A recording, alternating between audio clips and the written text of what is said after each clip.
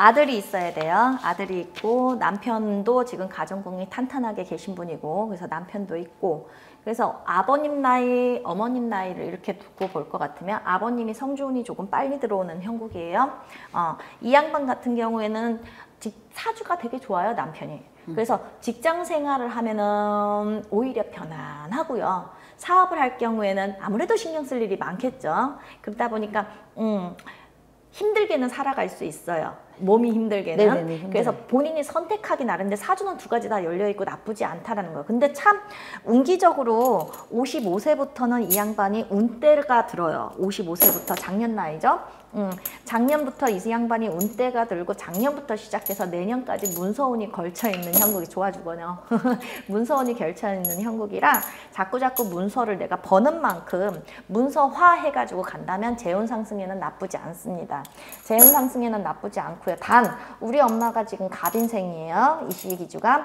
그런데 갑인생 올해는 나한테 어떠한 해운년이냐면 호랑이가 호랑이를 만나요. 그리고 간목이 이민이라는 그 물을 만나기 때문에 천간에 합이 들어서 재우는 나쁘지 않습니다. 재우는 나쁘지 않고 동질성 있는 주변에 사람이 이제 내가 마음만 열면 근데 엄마가 사람을 많이 가려.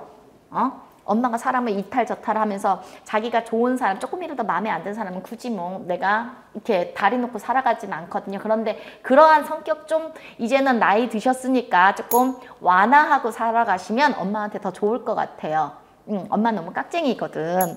근데 조금 손해나면서도 살아가시면 좋을 것 같고요. 어, 너한테 음, 내가 좀 싫지만 그래도 싫어도 음, 그냥 이렇게 좀 내가 사람 보는 기준을 좀 낮춰주셔라는 거야.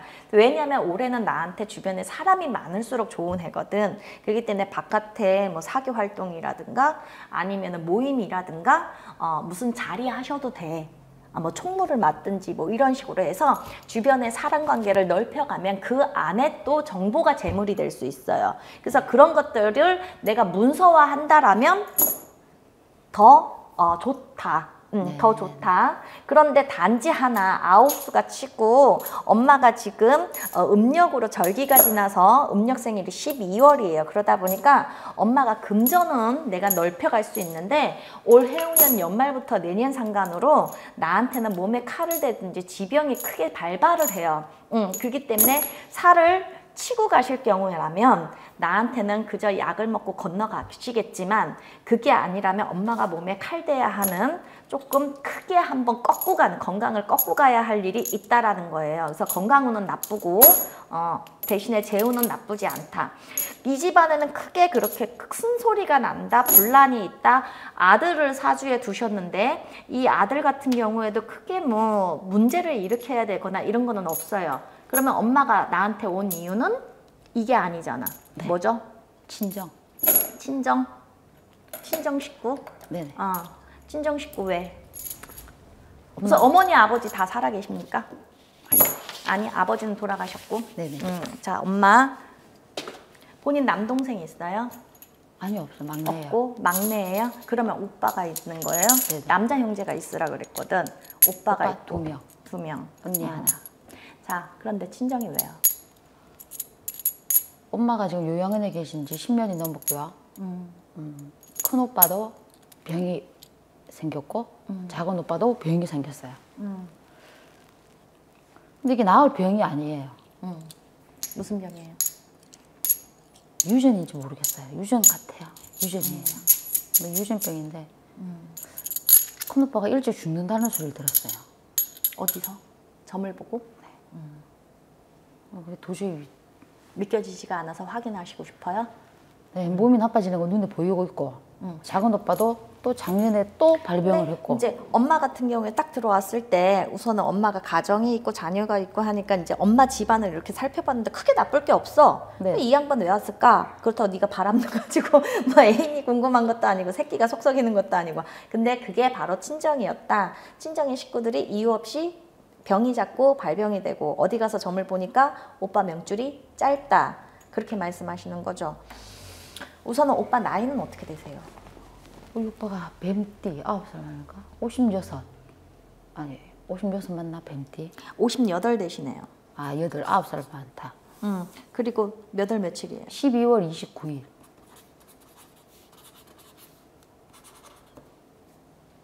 이 양반이 재작년 2년 2년 전에 음? 크게 건강이 확 꺾여야 돼요. 꺾였어요. 2년 전에. 그러니까 지금 아픈 게 2년 전에 콱 들어온 형국이에요. 2년 전에. 2, 3년 전부터. 병이 언제 발발됐어요? 한 4년은 된 것 같아요. 초기 증상이 나타났을 때. 음. 근데 2년 3 그러니까 이 양반이 56, 57에 확 네. 진짜 이제 손을 쓸 수 없, 확 네, 건강이 확 꺾이는 거예요. 네, 네. 오, 응. 56, 57에. 근데 이거를 손을 쓸 수가 없어. 네. 너무 급작. 네. 어, 너무 이렇게 그 빠르게. 음. 어떻게 할 수가 없어요. 또 한 가지는 다른 오빠가 있다 그랬죠. 네. 음, 제가 본인한테 남자 형제가 동생이냐 오빠냐 했는데 오빠가 둘이 있어요. 오빠 그 두 번째 오빠는 몇 살이에요? 세살 많으면 몇 살이죠? 52? 돼지띠. 돼지띠 52이네요. 12월 13일.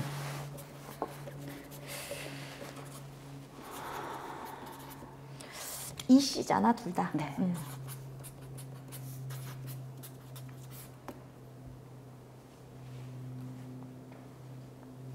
지금 큰 오빠는 손을 쓸 수가 없어요.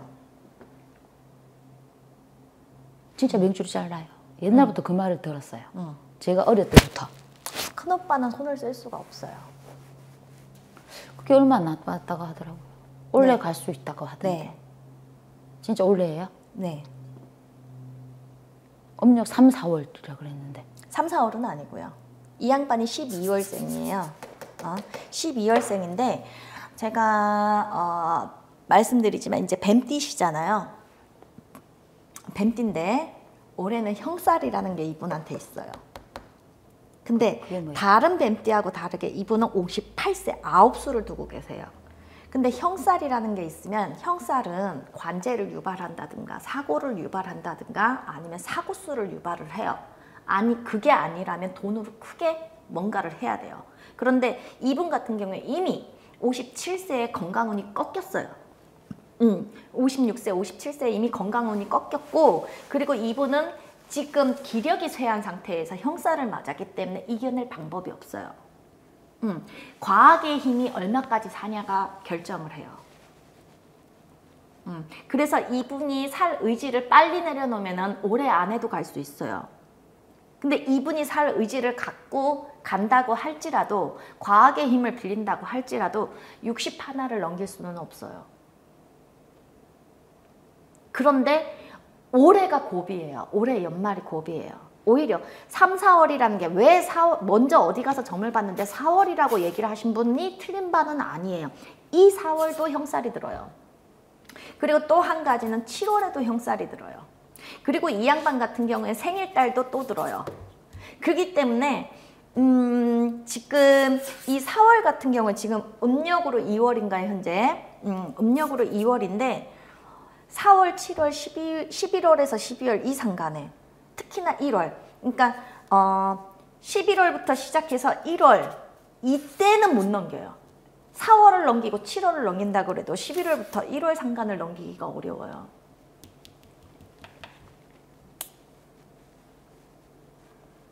죄송합니다. 아니요. 저는 오히려 그게 더 좋을 것 같아요. 근데 본인도 너무 괴로워요. 병하는 애그 이유가, 응, 병하는 이유가 저는 그렇게 뭐, 뭐죠? 이렇게 혈관 질환 같은데, 네, 내 쪽으로 혈관. 그치? 혈관 질환이지. 정신은 암이라는 말이 안 나와. 아니에요. 어, 혈관으로 인한 병이거든. 혈액으로 인한 병이거든. 그러니까 파킨슨지 모르겠어요. 하여튼 그런 쪽에 뭐 정치는 말짱한데 많이 배운 사람이에요. 음, 박사학위도 따고 음, 똑똑한 사람인데 몸이 이렇게 잘못 걷는 식이죠. 파킨슨 지적 알츠하이머 이런 음. 것처럼. 근데 이 양반 살 수도 있었어요. 일찍 손을 썼으면. 그러니까 그걸 무슨 막 병원에서 일찍 손을 쓴다는 게 아니고, 어, 지금 두 분이 상주 아닌 상주를 하셨거든요. 그게 뭐 음, 3년 전 왔, 이쪽 저쪽에 아 그러니까 이씨 가정에 보면 이씨 가정 그러니까 이분들한테 본인들한테 외가나 친가에 보면 어른이 가시거나 뭐 이렇게 상이 난 일이 있어요. 큰아버지. 그치? 응? 이씨 가정이면 어른이 가셨단 말이에요. 지금 상문살 맞아서 갑자기 확 뒤집어졌어요. 이 양반이. 큰아버지 돌아가시고 그런 것 같다. 네. 상문살을 맞아버렸거든요. 그러니까 빨리 점을 보고 빨리 손을 썼으면 초기에 발견돼서 손을 썼어요. 무슨 말인지 알겠어요? 느낌 오시죠? 어. 그래서 이 집안에 이 양반이 꺾이기 이전에 꺾이기 이전에 직전에 상주 아닌 상주 역할을 했단 말이에요. 어? 상을 크게 치렀단 말이야. 이 두 양반이.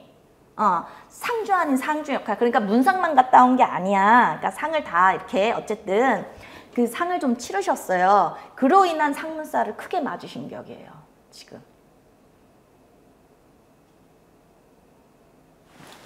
삼 4년 전이면 큰아버지밖에 안 계시는데. 상문살을 크게 맞으셨고요. 그러고 나서 이분 같은 경우에는 어,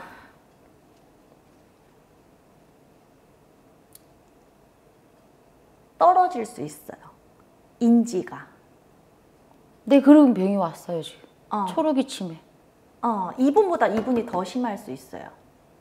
치매? 지금 지금은 치매. 지금 급속으로 진행되고 있어요. 어, 이분이 더 심할 수 있어요. 인지가 떨어지는 병. 네. 맹한. 병. 지금 치매 치매. 어, 맹한 병. 그게 우리 집에 집안 쪽으로 유전한 사안이 아니에요? 이분은요, 지금 왜 갑자기 이러냐면 이거 살리려고 노할머니가 계셔요. 치매에 있던 노할머니. 네. 응, 그 할머니가 와 계셔요. 우리 할머니. 네. 그 할머니 와 계셔요. 사자 막으려고. 그래서 갑자기 이분이 어, 병원에서 보면은 그냥 뭐 건강상의 무슨 병은 아니에요. 크게. 근데 치매 증상이 나타나거든요. 어, 치매 증상이 나타나거든. 상문살의 이게 원인이에요. 상문살의 원인인데 얘 같은 경우에는 손을 못 써요. 타고나기도 이제 그 해가 이 사람 같은 경우에는 본인 남편처럼 돈을 벌어야 하는 음, 보통 성주운이 들어오는 해가 있단 말이에요. 성주운이 들어오면 하늘에 이제 성주신이 내려요. 그런데 그런 때 이 성주신은 굉장히 예민해요. 그래서 내가 잘 나가면 되는데 건강하고 잘 나가면 되는데 상문살을 맞아버리나 피부정을 이렇게 좀 맞아버리면 뒤집어져요. 오히려 운기가 더 바닥을 쳐버리거든요. 근데 사주에 나와 있기를 이 양반이 머리는 똑똑하고 다른 사람한테 다 존경받고 오히려 평판도 좋아야 돼요.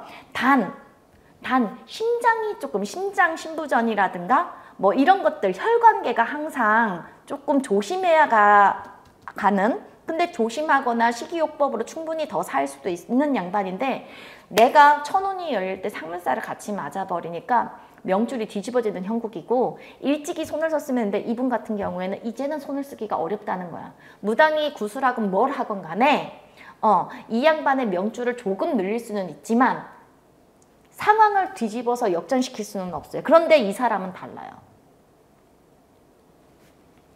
할머니가 와 계셔요. 노할머니. 약간 치매가 있던 노할머니가 와 계세요. 네, 우리 살리자고. 우리 친할머니. 예.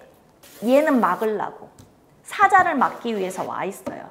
근데 중요한 건 네가 살기는 하겠지만 맹맹하게 살아야 되는 거야. 그러니까 차라리 상문을 걷고 사자를 걷어주는 일을 한다면 이 사람은 차도가 생기지만 이 사람은 이미 늦었다라는 거예요. 근데 자원 오빠도 저렇게 해서 오래 살면 추한 꼴다 다 보이. 아니지 정신 들어와요. 할머니가 가시 왜 오게 그 할머니 왜 지금 할머니가 와 계셔서 할머니 증상이 그대로 내 몸 안에 있는 거라니까 할머니는 그렇게 해서라도 얘 살리고 싶은 거야. 어. 근데 할머니가 안 해도 우리가 사자를 물려주면 할머니는 가. 그럼 자기 정신 다시 들어요. 살리고자 이러는 거예요. 사자를 물리지 않으면 계속 이럴 수 있어요. 정말 그 80 노할머니처럼 인지 능력이 다 떨어질 수 있어요. 그래서 빨리 손을 써야 되는 양반은 이 양반이 아니라 이 양반인 거예요. 사자를 사자가 들어와 있기 때문에 지금 얘를 얘라도 건질라고 지금 할머니가 치고 들어온 형국이거든. 그래서 할머니 증상이 나와요. 이런 것들을 빙의 현상이라고 그래요. 근데 할머니는 자손을 살리고자 온 거예요. 살리고자 와서 자기가 맡고 있는 동안에 이 자손은 어떻게 내가 할머니 살아생전에 그 모습 그대로가 자꾸 드러나는 거예요. 병원에 가도 육체적인 어떤 병보다는 원인 불명 치매로 밝혀질 수밖에 없는 병이에요. 예. 그런데 이 할머니의 역할을 우리 무당이 대신하면 할머니는 할 일이 없어요. 마음 놓고 가시면 돼요. 이 사람은 건강 찾을 수 있어요. 그래서 어머니 생각하시고 어, 이렇게 정리를 하겠습니다. 우선은 방송 여기까지 끊을게요.